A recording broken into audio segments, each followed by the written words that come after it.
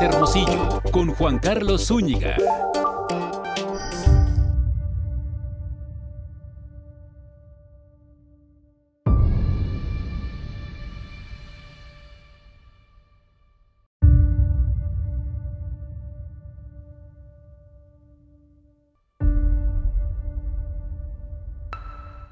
Los datos del Instituto Nacional de Estadística y Geografía sobre las principales causas de muerte en Sonora durante 2023 revelan una realidad preocupante. Las enfermedades del corazón, los tumores malignos y la diabetes mellitus encabezan la lista de padecimientos fatales. Junto a estos, las agresiones, los homicidios y las enfermedades como la influenza y la neumonía también figuran entre los factores que más vidas cobran en el estado. De esto hablaremos el día de hoy.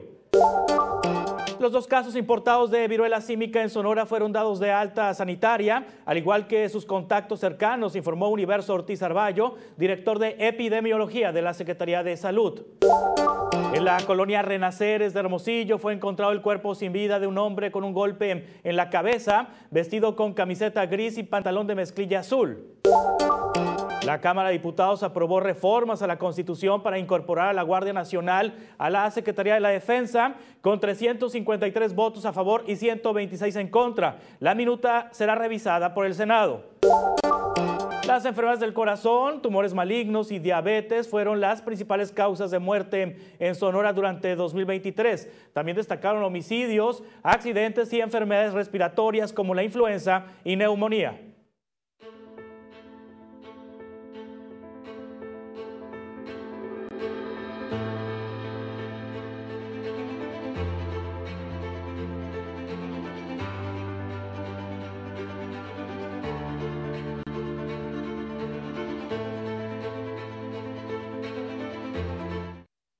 Las enfermedades del corazón lideran la mortalidad en varones. En las mujeres, los mismos problemas cardíacos encabezan la lista.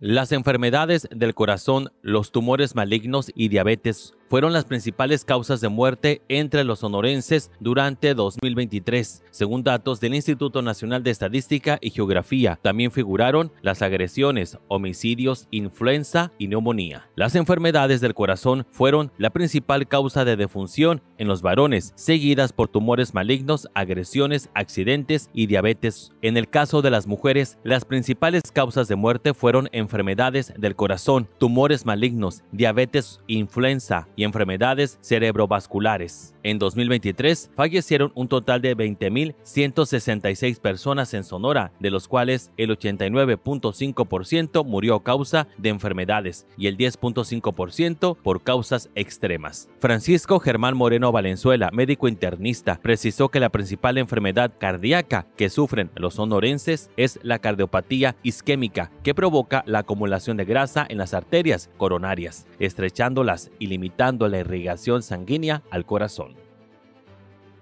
Sin embargo, también aquí en nuestro estado se presentan problemas de arritmias, eh, de trastornos congénitos del corazón, del efecto directo o indirecto de otras enfermedades que se pueden presentar también en el corazón y el uso de sustancias, ¿no? La vida sedentaria de muchos sonorenses, que incluye la falta de ejercicio, el consumo de bebidas con alto contenido de azúcar, alcohol, tabaco, drogas, así como una dieta rica en carne roja y comida chatarra, contribuye a problemas del corazón y aumenta el riesgo de fallecer a una edad más temprana. El especialista recomendó a las personas practicar algún deporte, reducir el consumo de carnes rojas y optar por pollo, pescado y verduras en su dieta. También sugirió utilizar aceite de coco, de oliva o de semilla de aguacate para cocinar y beber agua natural o aguas frescas sin azúcar. Julián Armando García Astiazarán, representante de la Asociación de Sonora sin Víctimas de Violencia Vial, afirmó que es necesario mejorar la infraestructura vial mediante la instalación de dispositivos que ayuden a prevenir accidentes fatales en curvas o al subir puentes. Hay muchas formas, hay tambos con agua, hay simplemente hay otros distribuidores en las que el muro no está recto, sino que va de va, va de subida, es como una rampa. Entonces, en caso de que tú te impactes ahí, pues no chocas de frente contra el muro. Te volteas, pero pues a lo mejor si traes tu cinturón, este, te va mejor, ¿verdad?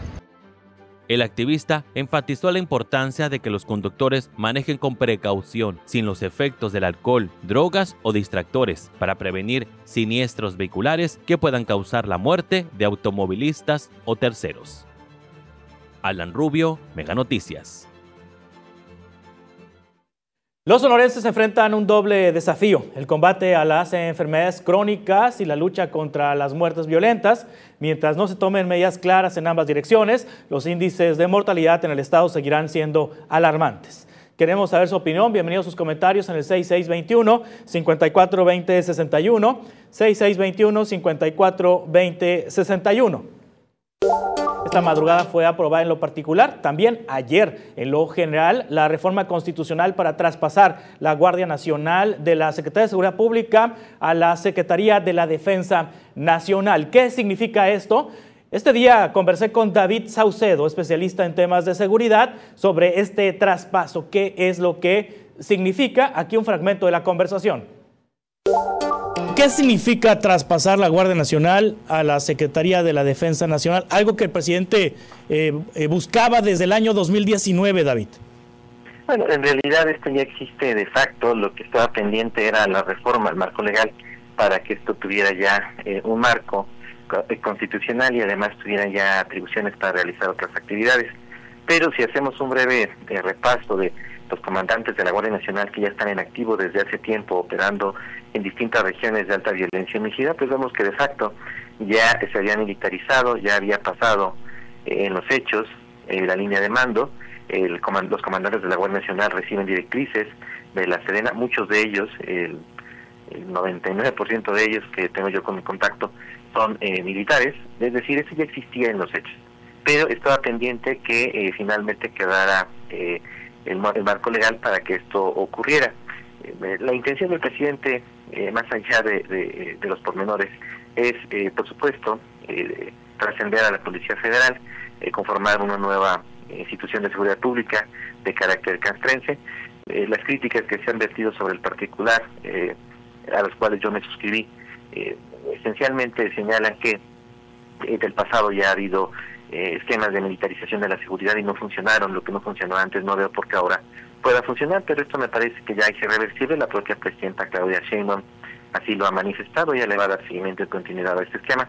Así que habrá que eh, adecuarnos a esta nueva circunstancia, es decir, a tener eh, a los militares realizando labores de seguridad pública. Sí, ¿quién va a definir la política de seguridad pública? ¿La Secretaría de Seguridad eh, Pública y Protección Ciudadana o la Secretaría de la Defensa Nacional? ¿A quién le toca definir? Eh, la política de seguridad pública y la estrategia, David, en este contexto de traspaso de la Guardia Nacional a la Sedena? Al parecer será Omar García Harfuch, pero sí en consultas, en estrecha colaboración con eh, la Secretaría de Marina y la Secretaría de la Defensa. Sí. Eh, me parece que el retraso en la designación de ambos titulares obedeció en parte al hecho de que Omar García Harfuch logró tener una incidencia importante en quienes serían los titulares de ambas dependencias y eso le permite tener una comunicación, una línea directa con el secretario de Defensa y de Marina. Siempre hay resistencias por parte de la élite militar en México a recibir directrices de alguien que no sea el presidente. Pero en este caso en particular creo que tanto Claudio Sheinbaum como Omar García operaron de manera adecuada para eh, finalmente poner bajo su control a ambas dependencias y que hubiera una sinergia el momento de conformar esta estrategia en materia de seguridad. Veremos cuáles son las líneas, aún no las conocemos, solo sabemos los eslogans de campaña que utilizaron todos los candidatos al momento de referirse al tema de seguridad. Ahora hay que transformar estos eslogans en propuestas concretas. Sí, David, también, ¿qué significa que elementos de la Guardia Nacional podrán hacer labores de investigación en coordinación con el Ministerio Público? No, suena mal, pero el problema es de que no hay en la Guardia Nacional ni en la Sedena eh, el número de agentes de investigación criminal suficientes como para poder enfrentar el fenómeno delictivo en México. Uno de los éxitos que sí llegó a tener la Policía Federal fue la formación de cuadros profesionales, peritos, antropólogos forenses, peritos de investigación, eh, agentes de investigación criminal, eh, técnicos especializados en labores de investigación de tipo policial. La Guardia Nacional y la Sedena carece de estos cuadros, por supuesto que tienen áreas de inteligencia, pero no con el perfil para la investigación, por ejemplo, del crimen organizado. Sí, el Entonces, esta es una tarea inacabada, pasarán varios años antes de que tengamos una plantilla de profesionales en materia de investigación policial dentro de la Guardia Nacional. Los dos casos importados de Mpox, conocida como virola símica en Sonora, han sido dados de alta sanitaria, según informó Universo Ortiz Arballo, director de epidemiología de la Secretaría de Salud. Las siete personas que estuvieron en contacto con ellos también han recibido la alta en septiembre. Ortiz destacó que la vigilancia epidemiológica permanece activa para detectar casos sospechosos, enfatizando la importancia del seguimiento y aislamiento de posibles nuevos infectados. El programa de vectores de la Secretaría de Salud en Sonora ha intervenido en 5 millones de depósitos donde puede reproducirse el mosquito el transmisor del dengue, informó Cintia Clavel Corrales, encargada de la brigada. Se está trabajando en colonias de alto riesgo en municipios como Guaymas, Hermosillo, Cajeme, Navojoa y Empalme, realizando fumigaciones en posibles criaderos. Clavel enfatizó la importancia de que la población limpie estos depósitos cada tres días y que, ya que el mosquito tiene fases acuáticas y adultas, la brigada también recomendó eliminar cacharros o depósitos de agua para prevenir el aumento de casos de dengue en un área controlable de aproximadamente 52 mil hectáreas. Los pescadores del Golfo de Santa Clara proponen levantar la veda del camarón el 2 de octubre para reactivar su economía, afectada también por el embargo comercial de Estados Unidos.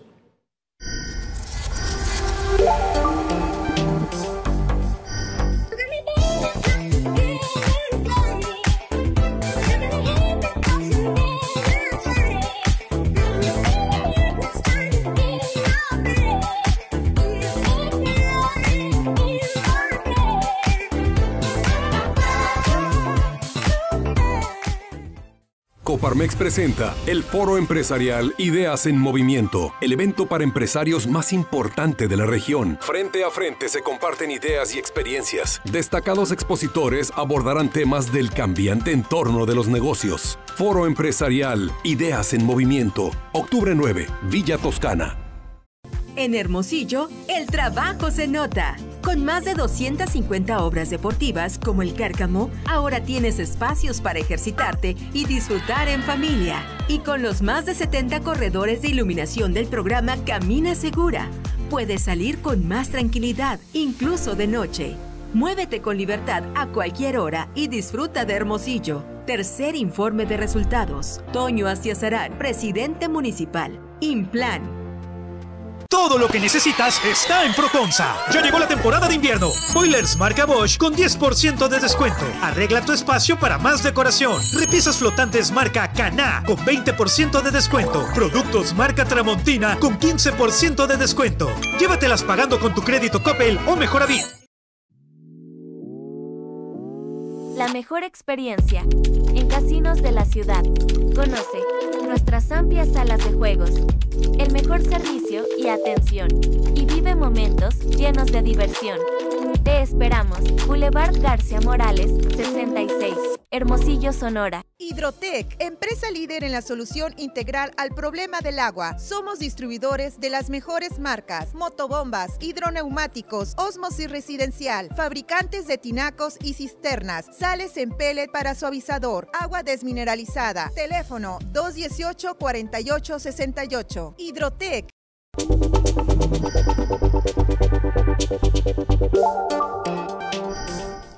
Le presento las 100 palabras de esta noche. 100 palabras de Juan Carlos Zúñiga. Con la mayoría de Morena, una oposición debilitada y la eliminación de contrapesos y autónomos, las discusiones sobre los temas clave del país se resolverán dentro del partido mayoritario, como en la época de la hegemonía priista. Tras la aprobación de la reforma judicial, algunos en Morena se sintieron culpables y desilusionados por los métodos utilizados, mientras que otros defendieron el pragmatismo, argumentando que el fin justifica los medios. Los puros reconocen que el proceso legislativo fue manipulado cediendo a la corrupción, lo que socava los principios democráticos. Los pragmáticos defienden la reforma de un sistema judicial corrupto e injusto y justifican la búsqueda de votos faltantes, incluso de actores cuestionables. Dentro de Morena hay una tensión entre quienes justifican sacrificios éticos para lograr cambios y quienes defienden los principios democráticos y se niegan a cruzar la línea ética. En ese sentido, será importante saber en qué postura se ubicará Claudia Sheinbaum una vez que asuma la presidencia, si en la pragmática o en la idealista. Voy con mi compañero Alan Rubio a la redacción de Mega Noticias con los mensajes de la audiencia esta noche. Alan, buenas noches. Juan Carlos, buenas noches. Nos están llegando los mensajes de la audiencia de Mega Noticias Hermosillo, como el comentario de Patricia Salcido. Es preocupante ver que las enfermedades del corazón sigan siendo la principal causa de muerte en Sonora, especialmente porque muchas de ellas son prevenibles. Carlos Ruiz, el problema de los accidentes viales que menciona Julián García Asteazarán es una realidad que vemos todos los días en nuestras calles. Falta mucha inversión en infraestructura vial que verdaderamente proteja a los automovilistas. Miriam Figueroa, es triste que las mujeres en Sonora sigamos muriendo principalmente de enfermedades del corazón y cáncer, aunque las recomendaciones del doctor Moreno son valiosas, me parece que el sistema de salud debería enfocarse más en la prevención. En más información, los pescadores del Golfo de Santa Clara proponen levantar la veda del camarón el 2 de octubre para reactivar su economía afectada también por el embargo comercial de Estados Unidos.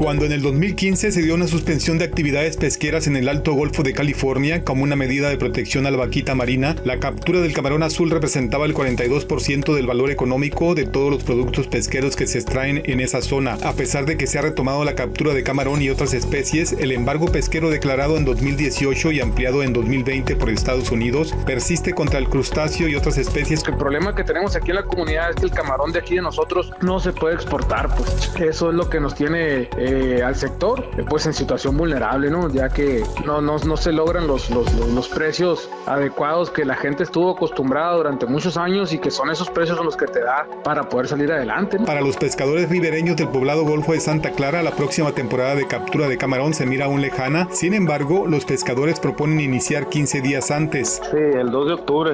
Y en cierta forma, pues nos conviene un poquito si lográramos el 2 de octubre porque el camarón tendría mejor talla ya, ¿no? Y mejor precio. Ya ve que ahorita lo vendemos al mercado nacional nomás. En los últimos años, los volúmenes de captura han disminuido, eso también motivado porque son menos los pescadores que salen al mar en busca del antes considerado como un producto de alto valor en el mercado de Estados Unidos, en donde se llegaba a cotizar hasta en 25 dólares por kilo. Actualmente eh, la, flota no está al 100% realizando la actividad, ¿no? van, a, van a arrancar, a lo mejor van a arrancar algunas 200 embarcaciones y se van a ir sumando algunas más dependiendo cómo va la temporada. Pero en años anteriores, esas 425 embarcaciones con permisos ya estaban listas. Los costos de operación para los pescadores llegan hasta los 6 mil pesos diarios cuando una embarcación sale a la captura del producto, lo cual hace incosteable la actividad, pues en el mercado nacional el producto llega a alcanzar un precio máximo de 240 pesos por kilo que se le pagan al pescador. Y ahorita si tomas en cuenta que los insumos están muy caros, pues necesitas que siempre te, pues que siempre las panas estén trayendo de 40 a 50 kilos diarios para poder solventar los gastos. Mega Noticias, Manuel Angulo. Juan Carlos, regresamos contigo al estudio. Gracias, Alan, por el reporte. Estamos atentos al seguimiento de la información. Vamos a la información local.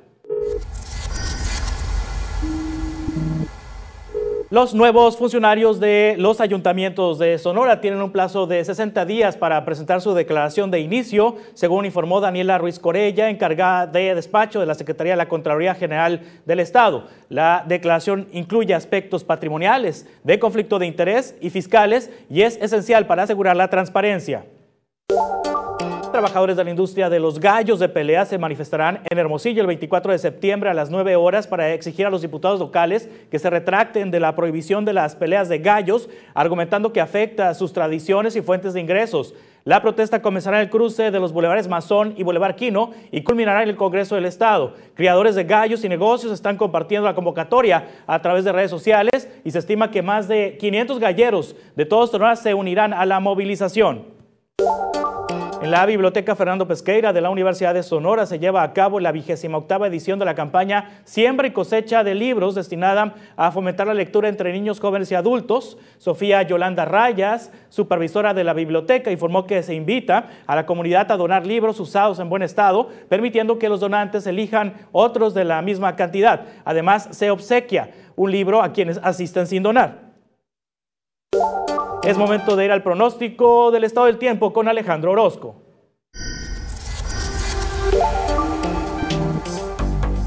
Hola, ¿qué tal amigos? Qué gusto saludarles. Aquí les tengo el pronóstico del tiempo. Este es el escenario que vamos a estar viendo a lo largo de las próximas horas aquí en nuestro estado de Sonora. Cielos pues casi completamente despejados que vamos a estar viendo en la tarde de este sábado.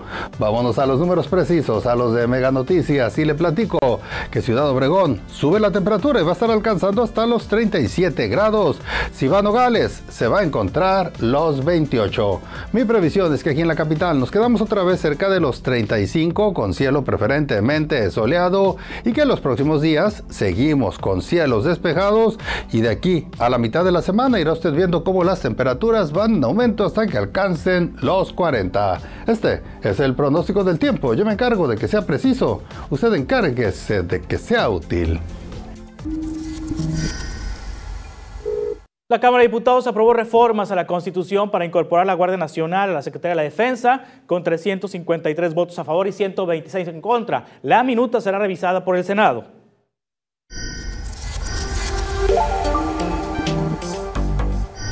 Mantoba Vestimenta Formal, 15 años vistiendo tus grandes historias. Trajes y smokings para caballero en renta y venta. La mejor calidad, asesoría y servicio la encontrarás en Mantoba. Eleva tu look con nuestros accesorios, zapatos, mancuernillas, moños, corbatas, pisacorbatas y más. Visítanos hoy en nuestras sucursales en Hermosillo y Obregón. Agenda tu cita vía WhatsApp para asesoría sin costo. Si ya eres cliente, baja la app Mantoba. ¿Estás listo para bailar, cantar y perderte en la música? Solo en el mejor lugar de conciertos en el sur de Arizona. Gloria Trevi, Mi Soundtrack Tour, 6 de septiembre. El Tejano Conjunto Shootout con David Farías, Jaime de Anda, The Crazy Pimps y Sonny Sauceda, 28 de septiembre. Viva la Quebradita, Banda Machos, Banda Maguey y Banda Z, 18 de octubre. Compra tus boletos hoy en avaconcerts.com o en la tienda de regalos Casino del Sol. En Hermosillo, el trabajo se nota. Con más de 250 obras deportivas como el Cárcamo, ahora tienes espacios para ejercitarte y disfrutar en familia. Y con los más de 70 corredores de iluminación del programa Camina Segura, puedes salir con más tranquilidad, incluso de noche. Muévete con libertad a cualquier hora y disfruta de Hermosillo. Tercer informe de resultados. Toño Astiazarán, presidente municipal. Implan.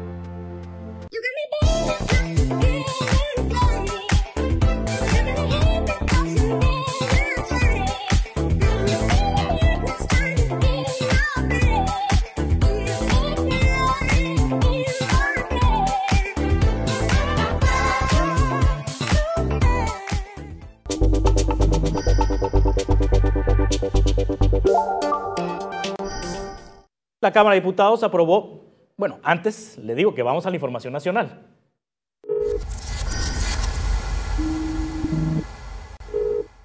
Ahora sí, la Cámara de Diputados aprobó en lo general y particular diversas reformas a la Constitución relacionadas con la Guardia Nacional, incorporándola a la Secretaría de la Defensa. Con 353 votos a favor y 126 en contra, los legisladores dieron el aval para convertir la Guardia Nacional en una institución de seguridad pública conformada y dirigida por militares. Es una pena que sea la bancada de López Obrador la que concluye la obra del proyecto político militar de Felipe Calderón. Son una y la misma cosa y han dejado de lado la discusión del bien del país. En los artículos transitorios se establece un plazo de 180 días contados a partir de la entrada en vigor del decreto para que el Congreso de la Unión armonice el marco jurídico en la materia. ¿Se acuerdan de uno chaparrito peloncito que vino aquí, se metió por ahí atrás hace unos años a fuerzas y que, porque era espurio, se robó la presidencia de México y luego ¿qué hizo? Se puso una casaca militar Ese militarizó al país, se militarizó a él mismo, se puso una casaca y se puso una gorra. Y después sacó al ejército sin ninguna regulación, sin ninguna regulación a las calles a matar gente. La minuta se envió al Senado de la República, que actuará como Cámara Revisora. Y la presidenta electa Claudia Sheinbaum defendió la reforma, aseguró que esta medida no implica una militarización del país y enfatizó que se respetarán los derechos humanos. No significa militarización, por más que digan lo que digan. Militarización quiere decir que hay un mando militar que está tomando decisiones y las decisiones las toma el comandante o comandanta eh, suprema de las Fuerzas Armadas. Es un poder civil. Voy con mi compañero Martín Vallejo, la información de seguridad. Martín, buenas noches. Muy buenas noches, Juan Carlos. En el reporte policiaco de este viernes, inicio de fin de semana, tenemos que en la colonia Renaceres, al suponiente de Hermosillo, fue encontrado el cuerpo sin vida de un hombre que presentó un golpe en la cabeza. El hallazgo del cadáver, que estaba vestido con camiseta gris y pantalón de mezclilla azul, se realizó la noche de este jueves en la intersección del Boulevard Quiroga y Renaceres. Al momento en que llegaron los investigadores, la víctima no identificada estaba en el área de acotamiento. Para la investigación de este caso, acudió personal de servicios periciales de la Fiscalía General de Justicia del Estado. También como parte de este reporte, te informo que cinco sujetos, entre ellos tres menores de edad, que en Hermosillo fueron sorprendidos movilizando el cuerpo sin vida de un hombre, fueron vinculados a proceso para que respondan por los delitos de homicidio y desaparición forzada de persona la detención de Brian Alexis y José María de 22 y 24 años de edad y de los tres jóvenes de 17 años se llevó a cabo la madrugada del pasado 5 de septiembre al oriente de la ciudad, cuando en una camioneta transportaron el cuerpo de Jesús Francisco, de 53 años, mismo al que asesinaron a golpes tras sacar un domicilio en la invasión Guayacán. La captura de los sujetos se logró sobre el Boulevard de los Ganaderos, a la altura de la presa Belardo L. Rodríguez, luego de una persecución. Al momento de la captura, también se aseguraron armas largas y cortas de hueso calibre. De igual forma, te comparto que Martín, de 24 años de edad, fue detenido por policías ministeriales y vinculado a proceso para que responda por el delito de abuso sexual agravado en perjuicio de un niño de 12 años de edad. De acuerdo a información de la Fiscalía Estatal, los hechos ocurrieron la madrugada del 17 de agosto de 2019 en una casa de fraccionamiento El Encanto al norte de Hermosillo. En ese lugar, Martín realizó tocamientos al menor cuando dormía en una de las recámaras del domicilio. Un juez validó las pruebas y emitió la orden de aprehensión para Martín, por lo que se encuentra tras las rejas en la penitenciaría estatal. Juan Carlos este es el reporte. De nuevo, muy buenas noches y muy, muy pendientes. Gracias Martín por el reporte, estamos atentos al seguimiento de la información. Y el Consejo de la Judicatura Federal decidió extender el paro de labores en el Poder Judicial de la Federación hasta el 2 de octubre, con cuatro votos a favor y tres en contra. La medida busca salvaguardar la seguridad jurídica y la certidumbre para los usuarios del sistema de justicia. Además, se acordó realizar mesas de trabajo para implementar el decreto que reforma la Constitución en materia de justicia y garantizar los derechos laborales de los trabajadores. Esta decisión provocó descontento entre los empleados, quienes se manifestaron en la sede del Consejo de la Judicatura. Este 20 de septiembre falleció en Hermosillo Saro Restivo, el italiano que introdujo la pizza a Sonora. A los 87 años, conocido como Saro, llegó a Hermosillo en 1969 y al notar la falta de restaurantes de su tierra, decidió abrir el primer establecimiento de pizza en la ciudad llamado Nápoles. Su legado perdura en el amor de los hermosillenses, quienes expresan su gratitud y condolencias en redes sociales. Nacido en Palermo, Sicilia, Saro no solo fue un eh, pionero culinario, sino también un defensor del medio ambiente, proponiendo iniciativas para mejorar la limpieza en la ciudad. Su influencia y carisma dejaron una huella imborrable en la comunidad. Descanse en paz, Saro Restivo. Concluimos este espacio de noticias. Le invito a que se quede con Joely Ramírez en Mega Noticias MX sin información nacional y que el próximo lunes, lunes coincidamos aquí a las 8.30. Gracias. Buenas noches. Mega Noticias Hermosillo con Juan Carlos.